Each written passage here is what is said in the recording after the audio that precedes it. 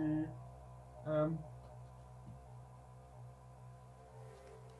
okay, so I've had a bit of a play. Ah, what? Hello, and welcome to Broadsword Wargaming. In this video, I'm going to talk about whether or not it's worth it to buy cheap airbrush and compressor kits.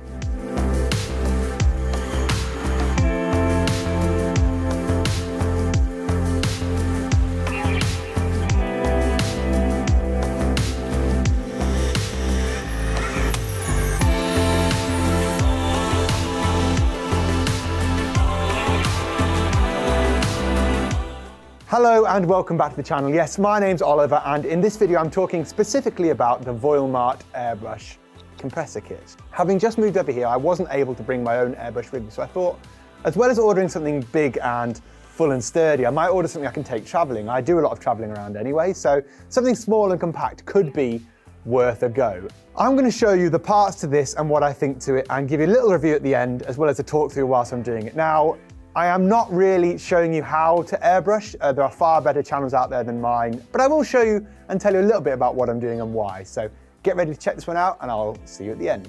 We've got the hose. This attaches to the bottom of the airbrush and into the compressor. Um, it's pressurized, so there should be no leak of, leaking of air. Um, there does appear to be a little rubber ring on the inside of both sides, so that uh, will stop the air pressure leaking, hopefully. Onto the other bits, we've got the compressor itself. This is the Voilamart compressor. It has an on-off switch and a mode which allows you to change the air pressure.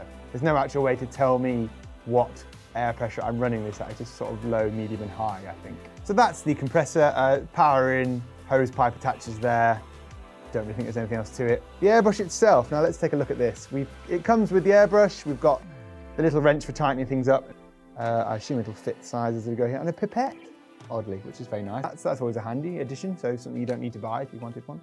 This is a dual action gravity fed airbrush. So the paint goes in the top and the gravity pulls it down. You can then press down and pull back for the amount of paint that goes in or the amount of air you're allowing to go through. Looks all in order. The actual switch itself is a bit clunky. Forwards and backwards seem fine.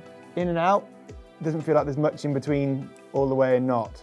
I don't know if you can hear that clicking. I'll, I'll put it really close to the mic. That's the clicking when I'm pushing it down. So I don't know how useful that's going to be. It does feel a little bit loose. So here at the very back of the airbrush, if you tighten this, it stops you being able to bring it back. The bottom here is a different attachment in case you want to attach your own hose, but we will not. We will attach the hose provided um, into here. I mean, that seems fairly tight. Again, pretty solid. So this is the moisture extractor. So this will just keep any liquid or fluid out of the compressor, which is basically what you want to be doing. So I'm going to attach that to the bottom of the airbrush here. I would normally have one of these on the side of a bigger compressor. Uh, bigger compressor. This has no tank itself, so it will keep flowing through, which isn't great necessarily um, for accurate painting.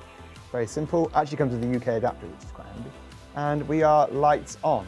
So it'd be nice if the plug socket wasn't on the same side and then I could have flip it round. So we are kind of ready to go. So we're connected, we're ready to go. I'll hit the on off switch and see how we sound. That is high pressure. That's actually relatively quiet. On maximum, you can hear it works, and then as you pull the trigger down, It does seem to be relatively consistent airflow. It's quieter and definitely less pressure the lower you go on this. So we'll go medium then. And I don't actually even know what PSI this is, so that's a bit random, but I mean, you can hear that buzzing in the background now. That is the airbrush compressor itself. So we'll turn it off for now. And we'll put some paint in here. I'm going to just paint some grey knights up. I've got five done already. So I'm going to just do the zenithals on them. I might put some metal on them as well, just to see how it flows. But doing the highlights would be a good enough way to tell how this airbrush compressor works. So I've got a bit of the surface primer from Vallejo. This is the white. I've used some airbrush thinner in there as well. It's taken me a while to figure out what setting I like best. I've gone ahead and actually done a few models nearly off camera. I've done a few grey knights there, as you can see. My first impressions of using this are, it does the job. As you can hear, it's relatively quiet. I mean, it does buzz, but it's not too bad. Uh, I've got it on medium setting, which I found to be the best one. Uh, it seems to work quite well for me anyway, but maybe you might find there's something different depending on how thick the paint is you want to move. When you initially press the trigger down to put the air through, it does sputter um, a tiny bit. So the, you can hear the pressure drop, as all do. So, you know, the general way to airbrush anyway would be to press that down before you start pulling it back. Um, it does actually stay quite consistent. It doesn't pulse or anything. It's a fairly consistent um, pressure, which is good. So I'm going to go ahead and just do a bit of airbrushing now. I'm not showing you really how to airbrush. Uh, I don't really think I'm good enough to do that. But the 0.3 mil needle seems to be good enough to do the job on pretty much anything anyway. I mean, the more skilled you are, the better you're going to be able to make these things go.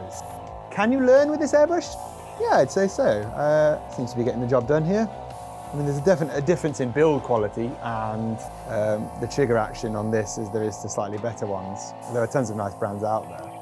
There's very little movement to be able to go from maximum pressure to minimum or none on the airbrush itself. Uh, and you've also got a little bit of control. But the airbrush does the job. I think, yeah, cleaning is going to be an issue, uh, as is with anything cheap. Parts don't tend to be as good. So you're going to get more blockages maybe than you would on a different airbrush or a better one and I quite enjoying this now. Wish I was painting them all for, the, for you guys. But back to the airbrush. Yep, the compressor seems to be okay, holding up reasonably well. The airbrush itself seems to be doing a decent job. But yeah, we're kind of ticking along here nicely. I'll finish these up and come back and meet you guys at the end and let you know kind of a general overall thing. But hopefully I've shown you enough about what this is and how it works. And then, um, yeah, we'll hit it from there. So I'll catch you guys in a sec.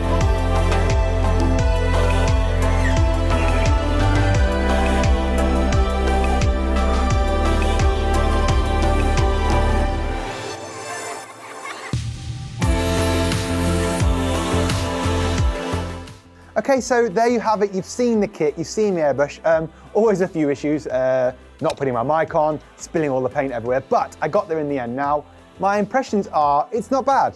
To be honest, I was expecting worse, and for 35 quid or whatever this was, pretty good. You've got a compressor, it's all kind of quite compact. You can leave it in the bit. You don't need to buy much else. It even comes with a pipette, which I was actually um, very happy about considering it's just a tiny plastic bit. Yeah, not a bad bit of kit. Uh, I don't know how it's going to be in the long run for cleaning and things like that. I have a funny feeling it could be a bit of a nightmare, but it has got, as you open up one of the parts, inside is almost like a glue, which I guess is trying to keep the seal safe, um, but it is still wet.